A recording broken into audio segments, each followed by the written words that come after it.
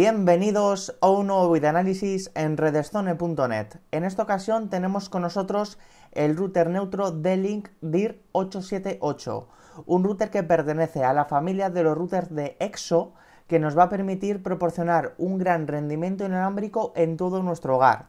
Las principales características técnicas de este nuevo router D-Link DIR 878 es que incorpora doble banda simultánea con Wi-Fi AC 1900 y además incorpora la tecnología Multiple User MIMO para proporcionar una mayor optimización a la red inalámbrica cuando conectamos dispositivos compatibles.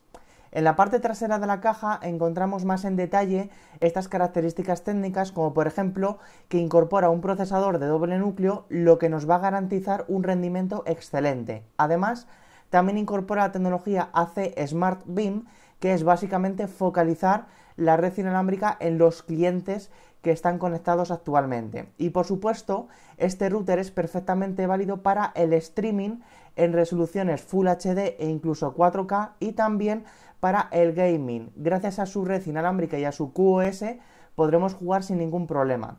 En la parte derecha de la caja encontramos los principales puertos físicos de este router que son los cuatro puertos gigabit Ethernet para la LAN, un puerto gigabit para la WAN y no incorpora puertos USB, ni 2.0 ni 3.0.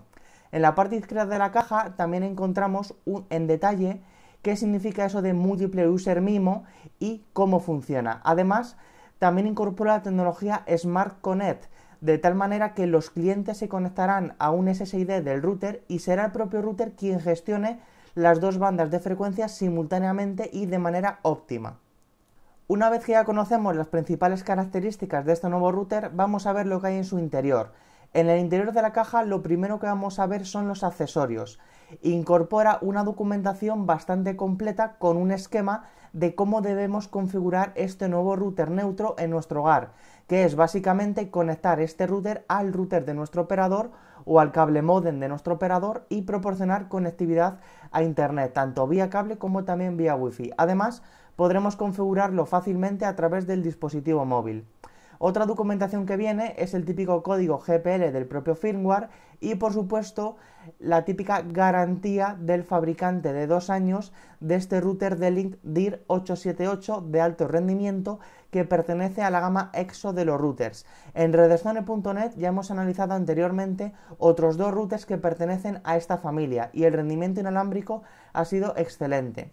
Por supuesto, el fabricante de Link ha incorporado dos conectores de corriente, uno para el mercado español y otro para el mercado de Reino Unido, que nos va a permitir utilizar el mismo transformador de corriente para los dos mercados diferentes. Respecto al transformador de corriente, tal y como podéis ver, necesitamos montar en la propia clavija, en nuestro caso la española, y nos va a proporcionar una tensión de corriente de 12 voltios y una intensidad de corriente de 1,5 amperes. Este transformador de corriente incorpora la típica clavija circular que el resto de routers del fabricante de Link también han utilizado hasta la fecha. Tal y como podéis ver, este nuevo router de Link DIR 878 viene perfectamente protegido por un plástico protector. Un detalle muy importante es que este router incorpora cuatro antenas externas que no son desmontables. También vamos a retirar la lámina de plástico que está en la parte superior para evitar arañazos. Además, un detalle muy importante es que el fabricante de Link ha incorporado en este router DIR 878 un cable de red plano con cuatro pares de hilos. Gracias a este cable de red plano vamos a poder conseguir velocidades de 1 gigabit por segundo. Tal y como podéis ver, el diseño de este nuevo router es realmente elegante. No tiene nada que ver con el otro router EXO que era de color naranja. En este caso es un color negro mate y en ciertas zonas es un acabado brillante. Tal y como podéis ver, en la parte frontal de este nuevo router de DIR 878 encontramos el LED de encendido del equipo, también encontramos el LED del estado de Internet y por supuesto el LED de estado de la banda de 2,4 GHz y también de la banda de 5 GHz. Debemos recordar que en la banda de 5 GHz tenemos tres antenas disponibles en configuración 3x3, por lo tanto tendremos hasta 1300 megabits por segundo de velocidad.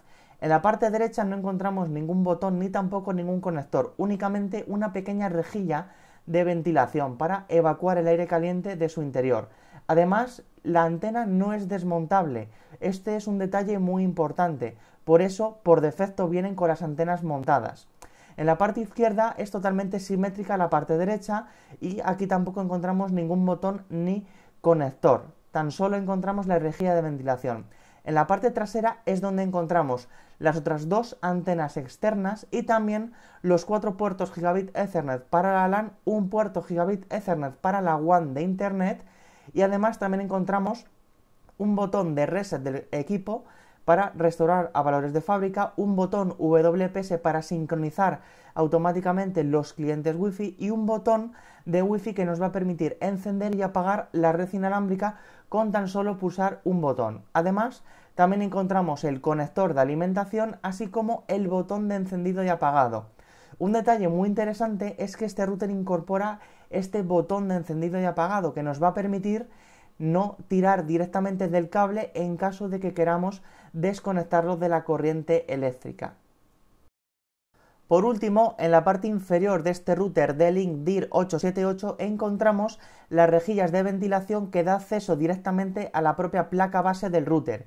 Y en la parte superior encontramos una pegatina que nos va a indicar la versión de hardware exacta del equipo, la versión de firmware que viene por defecto así como la dirección MAC y los datos de la red inalámbrica Wi-Fi que está de forma predeterminada con su SSID y también con su contraseña.